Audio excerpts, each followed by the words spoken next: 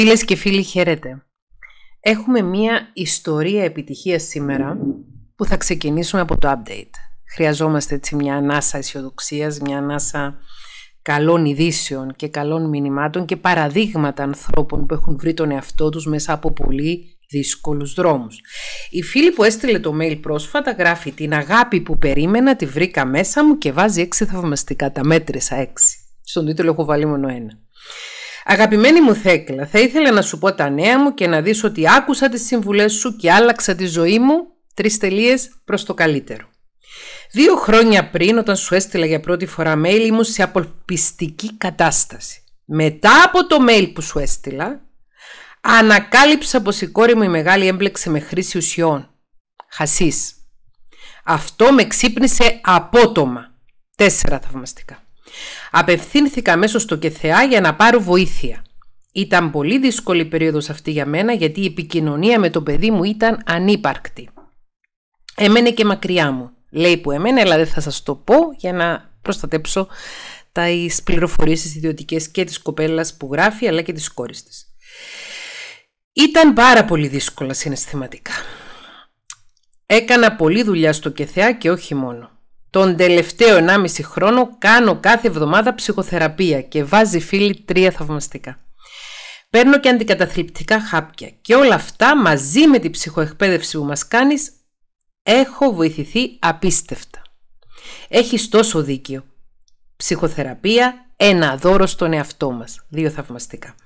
Αυτή τη στιγμή που σου γράφω, η σχέση μου με την κόρη μου έχει αποκατασταθεί σε πολύ μεγάλο βαθμό Πηγαίνει και το κορίτσι μου στο ΚΕΘΕΑ εκεί που σπουδάζει και καταφέρνει να είναι καλά και με τις σπουδές της. Δυο θαυμαστικά και χαίρομαι πολύ γι' αυτό.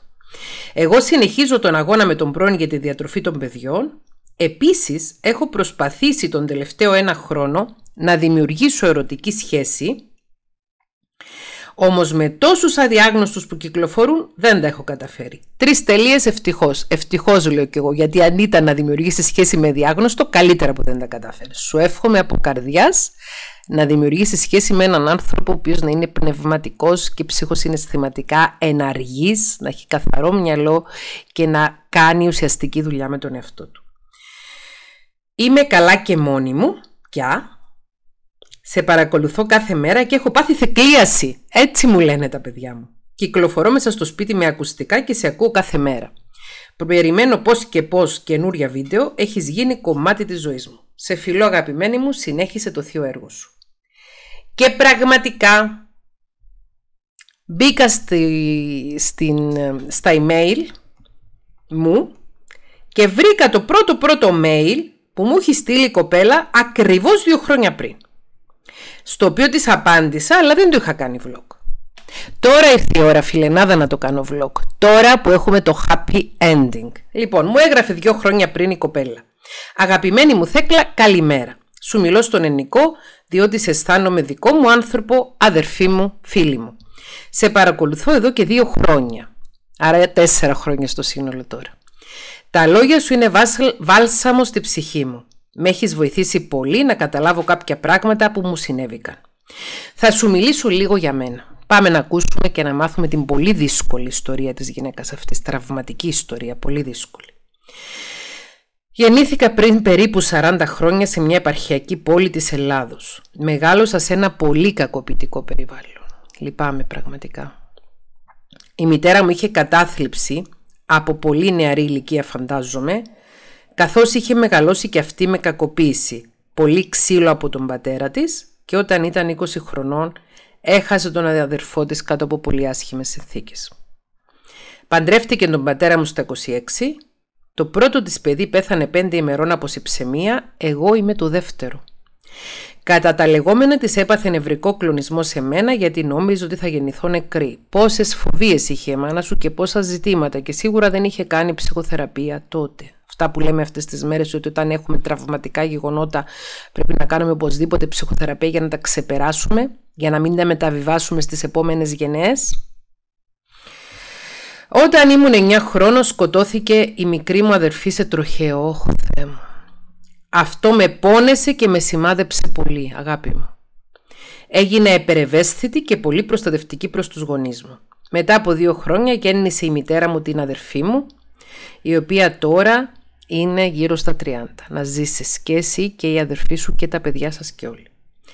Και εγώ και η αδερφή μου δεχτήκαμε λεκτική και σωματική βία από τη μητέρα μου, σε σημείο που της έλεγα χτύπαμε, δεν με νοιάζει και ας πεθάνω. Συγγνώμη, λέμε να σου δεν είναι ένας νάρκισσος γιατί έχουμε πει ότι και οι ναρκισσοί έχουν τραυματικά γεγονότα στη ζωή τους, αλλά επιλέγουν να τα διαχειρίζονται με το να βγάζουν όλοι τους τη μαυρίλα πάνω στους άλλους και όχι με το να κάνουν την πολύ σοβαρή δουλειά, την πολύ σοβαρή πνευματική δουλειά που απαιτείται για να αντιμετωπίσει ένας άνθρωπος τα τραύματα του και τα πένθη του.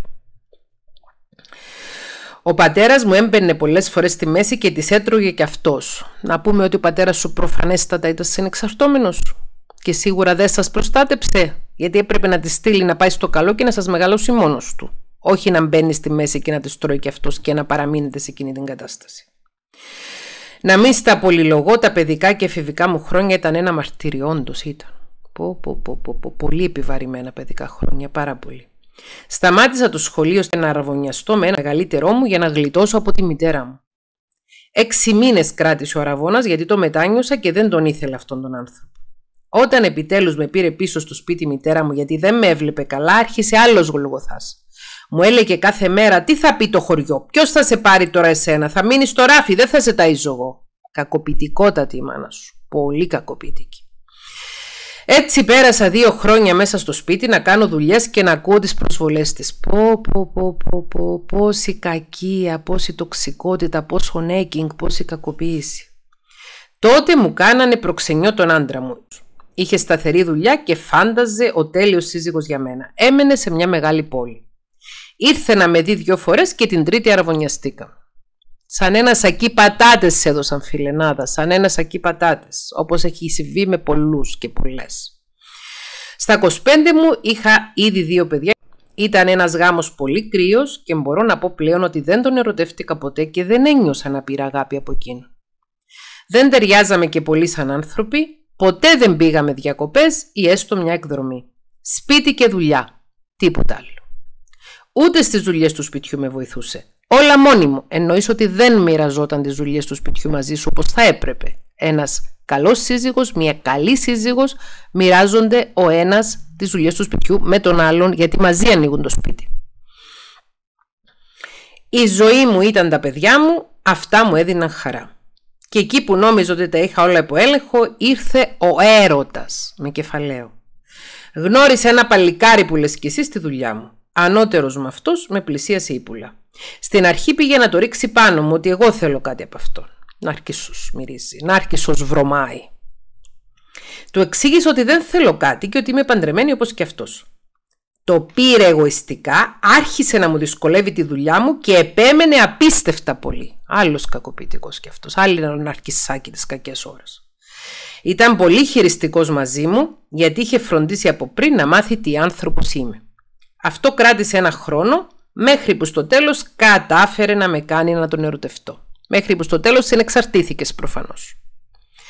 Εγώ κολακεύτηκα πολύ από το ενδιαφέρον μου μου έδειξε γιατί δεν το είχα ποτέ τον ερωτεύτηκα πολύ και νόμιζα ότι το ίδιο ένιωθε και αυτός. Έτσι κάνουν οι νάρκηση. Καθρεφτίζουν συναισθήματα και νομίζουμε ότι νιώθουν και αυτοί ότι μας κάνουν να νιώθουμε εμείς.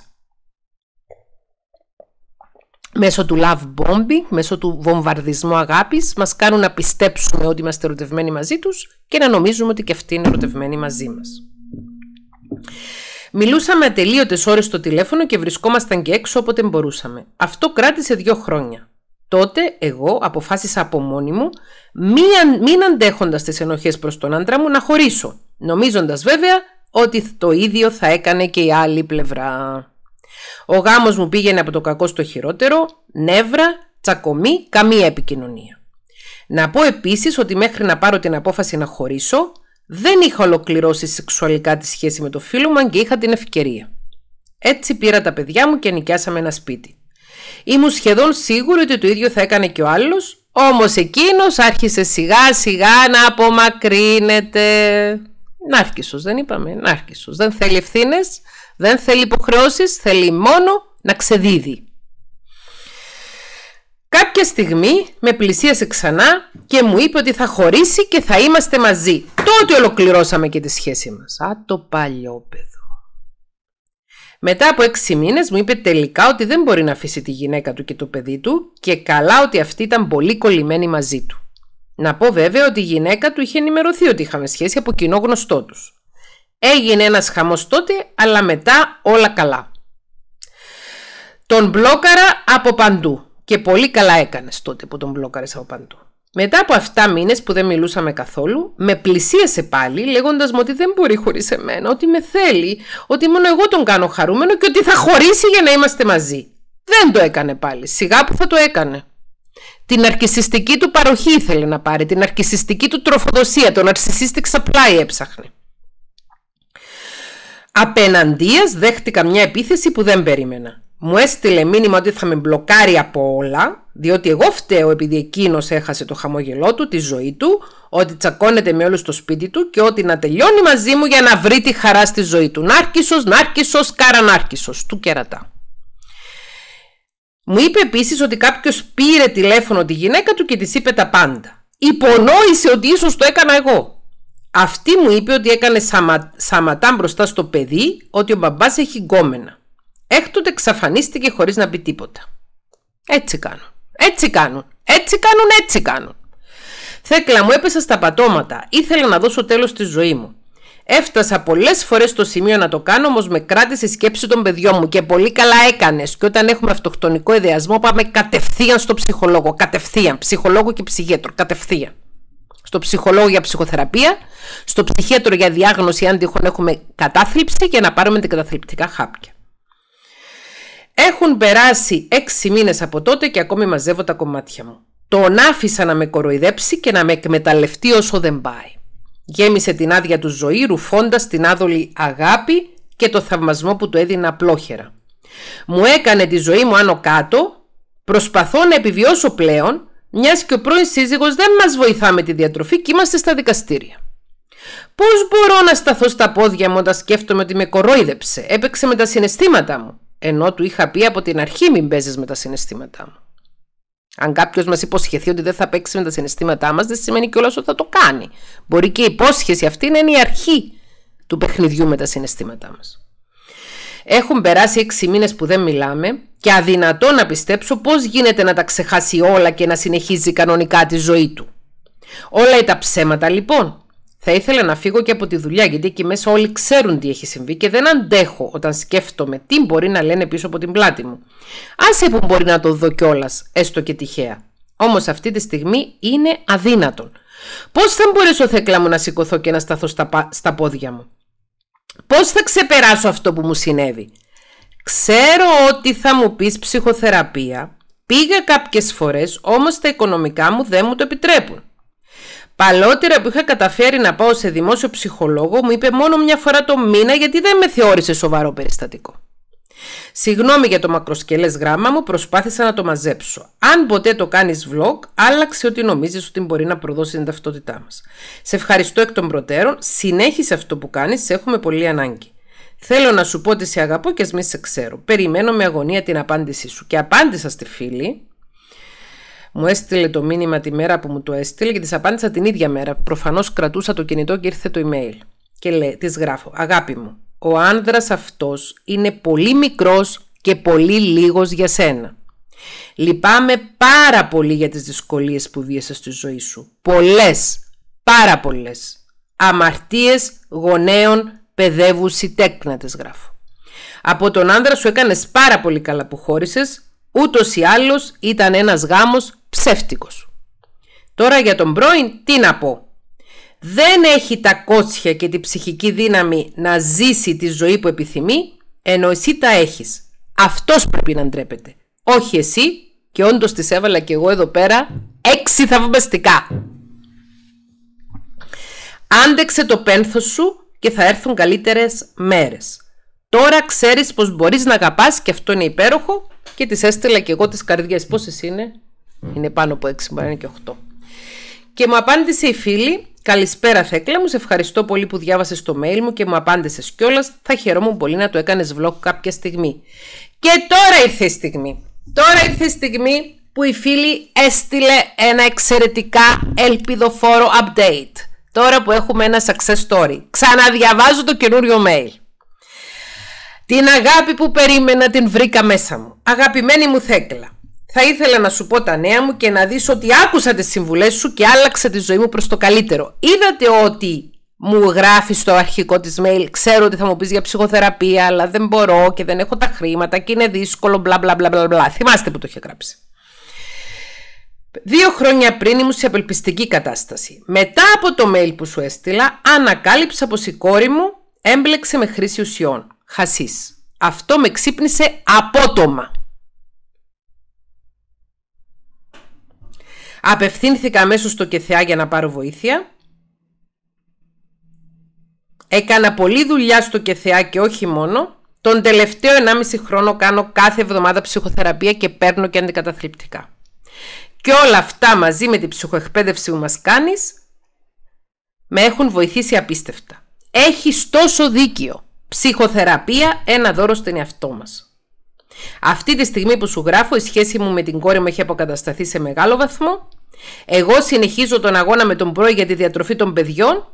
Επίσης έχω προσπαθήσει τον τελευταίο ένα χρόνο να δημιουργήσω ερωτική σχέση, όμως με τόσους αδιάγνωστους που κυκλοφορούν δεν τα έχω καταφέρει ευτυχώς. Είμαι καλά και μόνη μου πια. Σε παρακολουθώ, περιμένω πώς και πώς τα καινούργια βίντεο, έχεις γίνει κομμάτι της ζωής σου, σε φιλό αγαπημένη μου. Λοιπόν, ευχαριστούμε πάρα πολύ για αυτό το mail. Πάρα πολύ. Είσαι ένα φωτεινό παράδειγμα φίλοι, ότι εκεί που νομίζουμε ότι όλα είναι μαύρα, εκεί που νομίζουμε ότι δεν έχουμε κανένα απολύτως έλεγχο στη ζωή μας, εκεί που βιώνουμε τη φοβερή ματέωση. Πόσο φοβερή ματέωση είναι αυτή η ίδια σου η μάνα να σου κακοφέρεται, να σε αραβωνιάζει μικρή, να μετά να σου κάνει ψυχολογική βία, μετά να παντρεύεσαι έναν άνδρα με τον οποίο δεν υπάρχει αγάπη και ούτε εκείνος ήταν ευτυχής ούτε εσύ ήσουν ευτυχής προφανώς μέσα σε εκείνο το γάμο. Μετά να νομίζεις ότι ήρθε ο έρωτας και να νιώθεις ότι βρήκες τη λύση στα προβλήματά σου στον παντρεμένο συνάδελφό σου να χωρίζεις για να είστε μαζί και αυτός να παίζει τη ψυχή σου. Πώς να την παίζει, παιχνίδια με τη ψυχή σου να παίζει και με τα συναισθήματά σου και να είσαι πλήρως αποκαμωμένη όπως ήσουν δύο χρόνια πριν και να θεωρείς ότι έχεις φτάσει σε ένα συναισθηματικό τέλμα και ότι είσαι στα χειρότερά σου. Και έρχεται μετά τι, τι έρχεται μετά; Έρχεται μετά το καμπανάκι, η καμπανάρα, το παιδί σου μπλέκει με χρήση ουσιών και δεν είναι καθόλου καλά ψυχολογικά. Και αναγκάζεσαι να συνέλθεις. Αναγκάζεσαι να έχεις μια απότομη προσγείωση στη ρεαλιστική πραγματικότητα. Αντιλαμβάνεσαι την ανθρώπινη σου ευθύνη την ευθύνη απέναντι στον εαυτό σου, απέναντι στη ψυχή σου και απέναντι στα παιδιά σου. Έχουμε ευθύνη απέναντι στα παιδιά μας, να διαχειριζόμαστε τα ζητήματα μας, να διαχειριζόμαστε τα τραύματα μας, να διαχειριζόμαστε τα κομπλεξιλίκια μας, να διαχειριζόμαστε τα πένθη μας, ούτως ώστε να είμαστε παρόντες ως γονείς και οι μητέρες και οι πατεράδες. Παρόντες, παρούσες, να είμαστε εκεί για να μπορούμε να φουγκραστούμε τι συμβαίνει με τα παιδιά μας και να μπορούμε να είμαστε όντως μητρικοί, όντως πατρικοί, όντως γονέικοι. Πολύ βαρύ, πολύ επιβαρημένο το παρελθόν της φίλης που έστειλε την επιστολή. Και αντιλαμβάνεστε ότι μέχρι του σημείου που μου στείλε το email, μέχρι του σημείου που συνειδητοποίησε ότι δεν την παίρνει άλλο να κλαίει και να κλαίγεται, και δεν την παίρνει άλλο να νιώθει ότι είναι σε τεράστια δυστυχία επειδή ο παντρεμένος γκόμενος δεν χωρίζει τη γυναίκα του για να είναι μαζί, όταν συνειδητοποίησε ότι η ζωή δεν είναι μόνο παραμύθια και δεν είναι μόνο φαντασιώσεις και δεν είναι μόνο limerence. Limerence σημαίνει συναισθηματικός μυρικασμός, σημαίνει μια, ένας φαντασιωτικός έρωτας με ένα πρόσωπο που είτε ήταν στη ζωή μας είτε είναι και δεν είναι ότι όλα αυτά δεν έχουν καμία σημασία και μεγαλύτερη σημασία έχει η ψυχική μας υγεία και η ισορροπία και η ανάληψη της προσωπικής μας ευθύνης και της γονεϊκής μας ευθύνης. Μπράβο στη φίλη. Συγχαρητήρια. Συγχαρητήρια. Άθελά σου μέχρι τη στιγμή που ξύπνησες μεταβίβαζες διαγενειακά τα τραύματα στα παιδιά σου. Άθελά σου. Δεν το κάνεις από κακία. Δεν το κάνεις από κακό σκοπό. Είμαι σίγουρη, είμαι χίλια της εκατό σίγουρη ότι εσύ δεν έδερνες τα παιδιά σου όπως σας έδερνε η μάνα σου. Ότι εσύ δεν έλεγες άσχημα λόγια στα παιδιά σου όπως σας έλεγε η μάνα σας. Όμως, το γεγονός πως δεν είχες κάνει την απαραίτητη δουλειά με τον εαυτό σου, την απαραίτητη ψυχοθεραπεία για να κλείσεις τον πολυτραυματία που έχεις μέσα σου, για να κλείσεις τα τραύματα του πολυτραυματία που κουβαλάς. Το γεγονός ότι δεν έκανες αυτή τη δουλειά, άθελά σου μεταβίβαζες στην επόμενη γενιά ατέλειωτα ζητήματα. Δεν είναι το διαζύγιο των γονέων που τραυματίζει ψυχικά τα παιδιά είναι τα άλλη τα ζητήματα που κουβαλούμε εμείς οι γονείς ως βαρύ φορτίο και που τεμπελιάζουμε ψυχικά, ηθικά και πνευματικά να τα διαχειριστούμε και άθελά μας τα μεταβιβάζουμε στα παιδιά μας. Το μεγαλύτερο καλό που έχουμε να κάνουμε για τα παιδιά μας είναι να πάμε εμείς οι ίδιοι να κάνουμε ψυχοθεραπεία. Να πάμε εμείς οι ίδιοι να γίνουμε άνθρωποι. Να πάμε εμείς οι ίδιοι να διαχειριστούμε τους εσωτερικούς μας δαίμονες, να πάμε εμείς οι ίδιοι να αναλάβουμε επιτέλους τα ενία της ζωής μας και θα έρθει και ο έρωτας μετά. Θα έρθει ο πραγματικός έρωτας. Παιδιά, αλήθεια σας λέω, δεν φτιάχνω αυτά τα βίντεο, ούτε ζω αυτή τη ζωή τη δική μου. Πιστεύοντας ότι το ιδανικό είναι ο άνθρωπος να είναι μόνος του. Σε καμία περίπτωση. Σε καμία περίπτωση. Αν το πίστευα αυτό, δεν θα έκανα κανένα βίντεο με ερωτική ιστορία, δεν θα έκανα κανένα βίντεο στο οποίο να μιλάμε για την επιθυμία της συντροφικότητας και της αγάπης. Ίσα ίσα το έχουμε πει πολλές φορές ότι η ψυχική ευδαιμονία έρχεται μέσα από τις ποιοτικές ανθρώπινες συνδέσεις. Deep meaningful connections. Βαθιές συνδέσεις με νόημα, και ποιότητα. Εννοείται ότι είναι εξαιρετικό, είναι υπέροχο και επιθυμητό να έχουμε πραγματική αγάπη στη ζωή μας. Να έχουμε ουσιαστική επικοινωνία με έναν άνθρωπο ο οποίος να μπορεί να συνδέεται, να μπορεί να επικοινωνεί, να μπορεί να αγαπά, να μπορεί να αγαπιέται. Το εύχομαι ολόκαρδα σε όλους μας και σε μένα και σε εσάς. Δεν ξέρω πότε θα έρθει, δεν είναι από το χέρι μας. Αυτό που είναι από το χέρι μας όμως είναι να κάνουμε τη δουλειά με τον εαυτό μας. Να κάνουμε αυτό που έκανε η φίλη. Ούτως ώστε να σταματήσουμε τη διαγενειακή μεταβίβαση των τραυμάτων όσο πιο πολύ γίνεται. Και δεύτερον, να μπορέσουμε να είμαστε σε εγρήγορση, σε ενάργεια καθαρότητα πνεύματος, ψυχής και συναισθήματος, ούτως ώστε όταν θα συναντήσουμε τον άνθρωπο με τον οποίο θα κάνουμε μια πραγματική σύνδεση βαθιά με νόημα, a deep meaningful connection, να είμαστε σε θέση να μπορούμε να το αντιληφθούμε και να μπορούμε να το βάλουμε σε εφαρμογή. Κλείνοντας αυτό το βίντεο, θέλω να μοιραστώ μαζί σας κάτι προσωπικό. Με το κορίτσι μου, η οποία είναι 23, περάσαμε δύσκολα πράγματα, δύσκολες φάσεις στην εφηβεία της είναι ακόμη στην εφηβεία, αλλά μιλάω για τα 15 της, για τα 16 της, για τα 17 της, για τα 21 της. Είχε φάσεις τις οποίες είχαμε μεγάλη δυσκολία να επικοινωνήσουμε. Είχαμε μεγάλη δυσκολία να έρθουμε κοντά. Μεγάλη. Shit happens, life happens. Με το γιο μου αυτό το περάσαμε πιο παλιά. Το περάσαμε πιο παλιά γιατί είναι και τρία χρόνια μεγαλύτερος. Λοιπόν, Θέλω να σας πω ότι αν επιμένουμε να κάνουμε δουλειά με τον εαυτό μας και αν προσφέρουμε στα παιδιά μας το δώρο της ψυχοθεραπείας και μπορεί να χρειαστεί αυτό το δώρο να το προσφέρουμε και σε στιγμές που μπορεί να μην είναι τόσο δεκτικό το παιδί, αλλά να το βάλουμε κάποιες φορές ίσως και σαν ένα όρο, ότι αν θες να συνεχίζω να στηρίζω οικονομικά αυτό που κάνεις, θέλω να κάνεις και θεραπεία για παράδειγμα όχι και να διαλέξεις εσύ που να κάνεις θεραπεία. Δεν σου διαλέξω εγώ. Να διαλέξεις εσύ που θα κάνεις θεραπεία. Πραγματικά δουλεύει.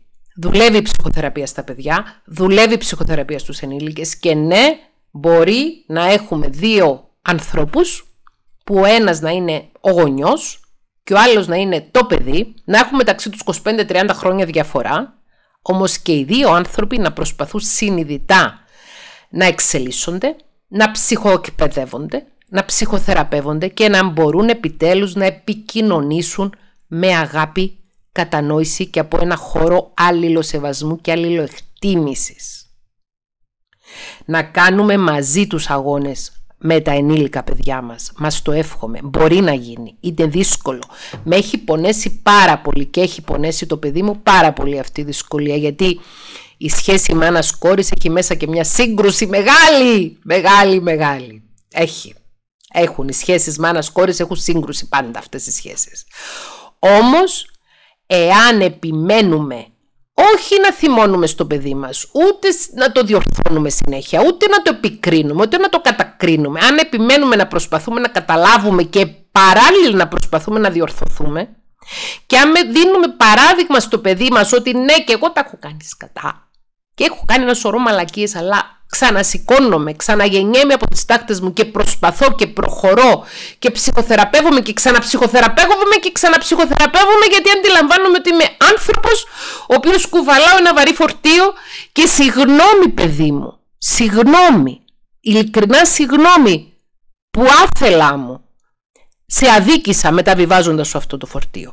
Το παίρνω τώρα και είμαι εδώ να συναγωνιστούμε μαζί για να ξεφορτωθεί ο καθένας το δικό του φορτίο. φορτίο. Μας το εύχομαι. Αμήν. Σας αγαπώ πολύ. Χαίρομαι πάρα πολύ με αυτό το mail. Φιλιά.